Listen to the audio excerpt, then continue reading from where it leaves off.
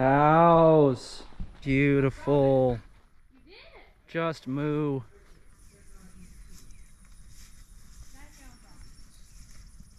I like cows. Anyway. Oh, this thing's hot.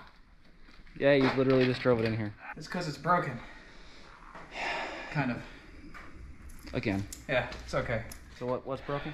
Uh, the starter uh, nut has backed off, and somehow the uh, power steering cap disappeared. So, totally not because I left it at a gas station. It's never my fault. Sure. Hey guys, welcome to Daddy's Money Garage. One of the best parts about living in Tennessee, uh, if you're born and raised in Nashville, in the city, likely your family has a farm. John, your family has a farm. There's there's land. Yeah, there's land and grass Out here there's cows. and barns. And yeah. But we're at my family farm uh, that also has barns, and as everybody knows, barns are used for storing your first car, like that one. That's actually that's actually my grandfather's. Uh, it's a '53 Plymouth Cranbrook. We're gonna do some stuff on that because it needs it needs floors. This doesn't count. This isn't my first car, but it's my first muscle car, and it's in here because I broke it, and it's taking up space for what today's video is about, and that's my dad's first car. Him and my mom drove it around in uh in high school. Actually, it's a car that's very important to the family, and that's really pretty much why we're doing this video. Not so much as for entertainment, just just as like documenting this car's existence and story for the future. Uh, so if you get entertainment out of it, good. But really, this video is for me and my family. You helped me build this car. Yeah. Yeah. So it's like generational. This car is ours. Mhm. That car out there in the other barn is theirs. Yeah. This thing's fixed now, so we can just get this thing out and go go to the other barn and talk about that. Let's go to the other barn. Yeah, that's that's making a lot less grinding noises. Did you fix that since we had to put it back in there before leaving Tony's like a year ago? You know, if it if it only happens once a year, then it's like Christmas. Except I'm not looking forward to it, but I'm willing to tolerate it. I love it out here. There's a lot of good times out here. This car, when I was a kid, was not running. It wasn't running until last year, but it's a legend of its own. Hey, John, there's your truck. It's so tired. It needs work. It just needs air conditioning is what it needs. Otherwise it's pretty okay. This car hasn't been running for even a year. I think when I was a kid, it wasn't even running then. It, it had sat since like 93 or something. Yeah, And you've I- been talking about it since I've known you. forever. And it sat in that barn over there that we were just in. And I remember being a kid, I would uh, get in it and try to play with the steering wheel. But before my dad parked it, he covered it in Armor All. So, so, so it was like maple syrup, and it was really easy to tell that I had been in the car. And uh, and over the past year, he got it running.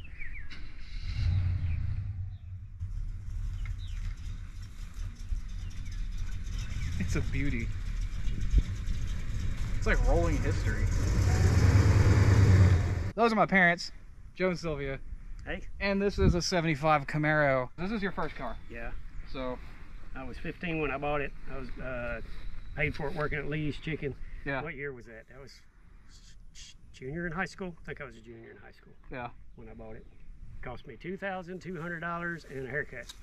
I think it's worth a little bit more than $2,200 now. Yep. Yep.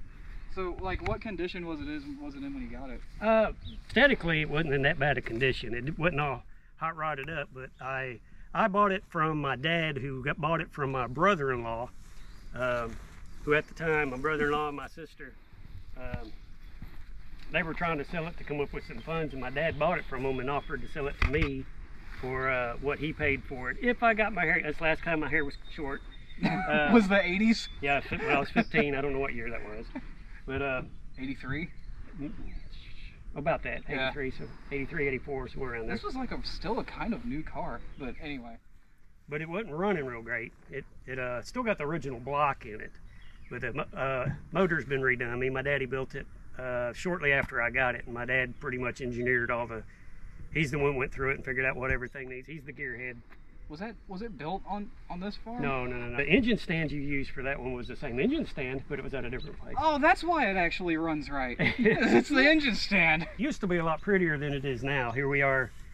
It's been parked for a long time. Yeah, my niece Kelly, came home from the hospital when she was born in this car. And and this thing was modified in the 80s, and it like as it sits is how it was modified. Pretty much, nothing Like has the- happened. The It got furry- parked in '95. The furry seat covers. Yeah, it got parked in '95 and stayed in that that shop for 25 years. Yeah. It didn't run or nothing. What did it need to even get running? I went through everything as Yeah. far as yeah, all the, you know, the all the fluids and the plugs and filters and wires and rotor button everything. You know, all the typical stuff just to get it going good. Yeah. And it, it really fired up pretty easy. Cleaned out the gas tank because it had been sitting with gas in it. Uh, and we had problems. I don't know if some of the trash got from the gas tank to the fuel pump, but even when we were first got it going again, we were having problems getting the fuel pump to pump right. But Yeah. it did finally start working, and it ran good for the rest of that year. Uh, And then it went out. and then it went out. Yeah. We just replaced it. Austin got us a new gas pump, and we just replaced it like a week ago. These louvers though, this is those are what can you even buy those anymore? I doubt it. Uh, I'm not sure. they need to be cleaned, repainted. Yeah, they're metal. They're aluminum. It sounded kind of crinkly. Back in the 80s, all the Camaro, you weren't a cool Camaro unless you had the louvers. There were no Z28s. No, Z28s Yeah. didn't exist in 75. But I mean, this is not a standard LT. LT was the, the grandpa Camaro. When this was new, it was it didn't have you know it didn't look cool. It had the Wait, so the spoiler wasn't on? no, it didn't have the spoiler. I think I remember when I was a kid, you were talking about how many times the spoiler has gotten broken, or was it the, The front, front spoiler spoiler's been broke. I don't know how many times. from like jumping railroad tracks? Y- Yeah, driving like a dumbass. This license plate frame is definitely period. That's two of a kind, isn't it? Yeah, that was that was a very exclusive Camaro club that me and my friends started back in the '80s, Very and there were two car two Camaros in the club. So exotic Camaros of Minted Nashville. at Hickory Hollow Yeah. Mall. yeah, Yeah. Hickory Hollow Mall. And it, Yeah. it's still in like good shape too. Like Yeah. that's the tires on it are the same ones from the 80s or the 90s. Uh, probably 90s, probably 90, 93, somewhere around there. yeah, they hold air. Yeah, It's all right. And this trailer hitch has never pulled anything. not from me. Now Yeah. my my brother-in-law, um, I think he pulled a boat back and forth to the lake with it. Yeah, So that's last time it's been used. We dated in high school. yeah, And this was- Yeah, this was the creature that did it. yeah. Not many people hold on to the first cars this long. I can't. It's sentimental. There's been many times that I thought, I just need to sell it. I just need to get rid of it. And every time I come out and look at it or sit in it or, or turn a wrench or do anything, it's like I can't get rid of this. There's It's too many memories. too in many It. memories. Yeah, there's too many memories. It still had the tin when I got it going. Had a Secrets tin that had change in it from where we used to cruise Family Billiards in Hermitage. That she had. That she had her her quarters in it to go play Pac-Man. Pac-Man or whatever Tin. back back at billiards. And it was still in it. It may still be in it. It was Still still in in it a couple Still, of years. I, you know, I think I, I think I know exactly what you're talking about Yeah. because even when I was a kid messing around in this thing, I would find that and be like, oh, there's quarters and stuff in here. And it's it's been in there since then. Oh, the whole yeah, it's got rust all over it. The fact the matter is though, like this thing sat for 20 years and the paint still looks this good. Yeah, well, it's set inside. It's been in my dad's shop for Yeah. 25 years. It And hasn't the- been out in the weather. The inside of this thing is just, just ah, it's so 70s. It's great. You can smell the 70s in this car, and that back seat's like immaculate. Is it still covered in armor all? Probably I overdid it with the armor all. You can still Yeah. even the steering wheel when you grab it now, it's it's like got some sticky film on it that will not come off. And the the tape player works. Yeah, still got The a tape player still works. J- JVC tape deck that we put in there back in the 80s, and it still plays. And oh, my my power booster. I think actually that was already it when I bought it. I think that was my brother-in-law. He put that in there. Oh, the equalizer thing. Yeah, I was saying because I remember when when it was first running, like last year, we were driving it, and the and you were and we didn't te- we tested the tape player, see where it's like, oh my god, it still works. Yeah, it still plays. So you got Just- like Slayer tapes and Metallica and Just all get a cassette adapter and has got a plug your little. Uh. Metallica, Creeping Death. It's still there. That's this car is so period correct. It's great. the other door is really bad. This one's not too this one's bad. not bad. But for just about every Camaro you get from this this Yeah, era sag. is going to have saggy doors. That other door is really bad. These wheels though, these are like these look like General Lee wheels. Yeah, I think they are. I my I got those. Um, I traded those to a guy I work with that I had some ET Kelstars that my parents got me for Christmas that started rusting. They were chrome wheels, and I wanted aluminum wheels. And the guy that at my work traded them, traded me for them. That's where they came from. But that's the coolest thing. I, I mean, like this thing is a time capsule. It, it's been modified in the 80s and stayed that way. Yeah, it's it's nothing like it started its life. It needs a lot of attention. You can see this front spoiler has been. I've, I, that's like the fifth one I put on it. It Yeah. needs, a, needs another one.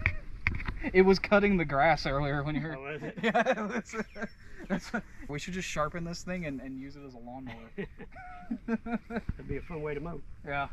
Get it done really quick. You want to pop the hood? Sure. My my dad was the pretty much the engineer. He's he's the guy that knows all the car stuff more so than me. He helped. If it wasn't for him, this car would have never been born. Now it's rust.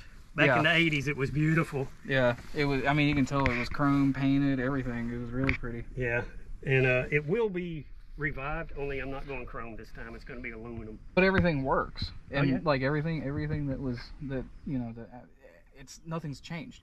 It, you rebuilt the carburetor, I did that just Yeah. to get it going. I did that the year we got it going. but it's the same carburetor. Same carburetor. Yeah, everything that was on this car in the '80s is still on it. 350 small block. What all? What all's been done to it? pretty much everything. Uh, I think it's got the 11 to 1 uh, pistons. Uh, it's been bored 30 over. I don't know what size the cam is, but my dad does. My dad's the one that did all the figuring out, but it's the biggest cam we could put in it and be efficient because it is an automatic. It's got power brakes. Uh, the power, it does have power brakes, but now because of the size of the cam, the brakes don't hardly, they're horrible. I need a vacuum booster. It don't want to stop. It goes really good, but it doesn't want to stop. Like what you've told me before, all brakes do is slow down. Yeah, brakes don't just you they don't matter. At the time, it was 100%. It was one of the baddest cars on the road back Yeah, I was then. about to say this car. Not anymore, but I've I've heard multiple times that this car was a legend in Sumner County. yeah. Well, uh, that was Davidson County. Oh, that's right. It wasn't up here yet. Yeah, it was in yeah, Davidson. Davidson County. Wasn't a day this uh, daily driving in this car was sideways at 120. So Yeah, It's pretty much regular driving. Because, like you said, you were like 15 when you got this car. yeah, And when was it built? uh, Like, in I the- 17 or 18. And and so you just out there just just just destroying the thing. That's when we were dating. yeah. He's scared everybody that rode in this yeah, car. yeah. A lot of people wouldn't get back in this car. it's my fault because I was stupid. Very Jumping dumb. railroad tracks. Did you run from cops? I don't want to say that. Oh, it's been long enough. It's been long enough. I don't want- Statu- no, no, no. of limitations is out on that. I might have to climb under it. The hinge, hinge latch just broke today. So uh, the camera overheated, and we stuck it in the fridge. So now we're good. I mean, it, it does it feel hot now, John? No, it's Oh, all right. Okay. It was like nuclear hot. What rear end did this thing have in it back in the day? Uh, it was born with, it was like a two, I should have done my research. It's like a 276 or something. It was an extremely high gear rear end. But it would let it ring out to some. Yeah, oh yeah, the top end was crazy on it, but it didn't have any takeoff. Yeah.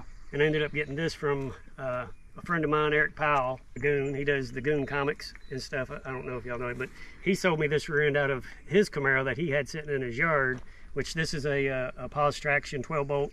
It's got a, and then I bought the 390 ring and pinion that's in it. So it's a 390 Positraction 12 bolt rear end. And my brother-in-law, who I bought this car from, had he's got like one of every. He's got so many cars, it's crazy. But uh, he, he bought the rest of the car that the this rear end came out of. So the rear end that was originally in this car is now somewhere at his house. He's got tons of cars, Yeah. and they're like showroom. They're they're nice. They're not like rust bucket or nothing. This, This ain't a roast not a bucket. roast this is no. You should see. Have you seen the jet in person? oh yeah, yeah. and there's holes developing in it, so it'll roast them, but it tops out pretty quick. Yeah, the, the top end on this car is non-existent anymore, but it'll get there real quick. Traction bars. Those traction bars are actually part of the rear end. They're Yeah. not. They're not the kind of bolts over the springs. Yeah. Well, it's, it looks like it's got a U-bolt over it, but that's Well, just if you look- retainer. Come back, look at this end. You can see where they bolt on the bottom of the. Yeah, those are some heavy duty. Like I guess those were necessary though, weren't they? Yeah, yeah. Well, they're not adjusted. As you can see, there's like, what is that? About three inches between the stopper and the spring. Quite Yeah. a bit of daylight there. Yeah. Well, the reason it's like that because I just recently aired up the uh, uh, air shocks, which it still has air shocks, Has air shocks. and they still hold air. wow. But I mean, if you let the air out, this the it'll it'll, It'll go back yeah, to. it'll go back. Well, I guess let's uh, guess you want to fire it up. It's got mufflers, doesn't it? Yeah, they're uh, turbo turbo twos, I think.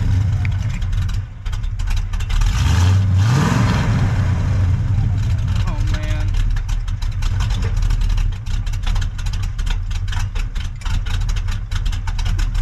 The fact that it can still run with this RPM.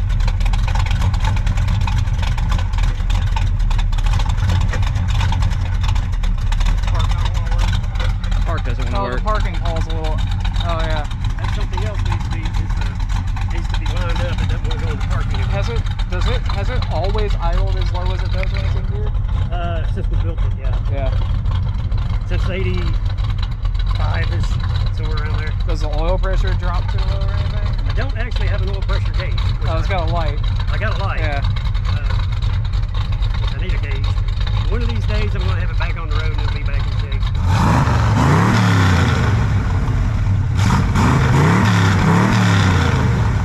You know, hearing this car make noise when it never made noise when I was a kid is just amazing.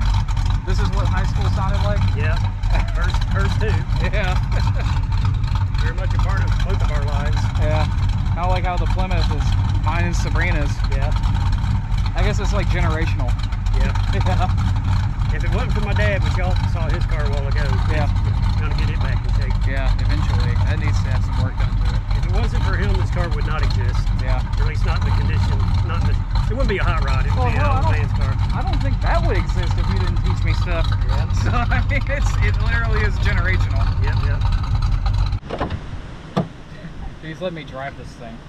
I never thought I would ever drive this car. You're sure about this? Oh, there's still armor all on the steering wheel. Yeah, it's very sticky. This is gonna be fun.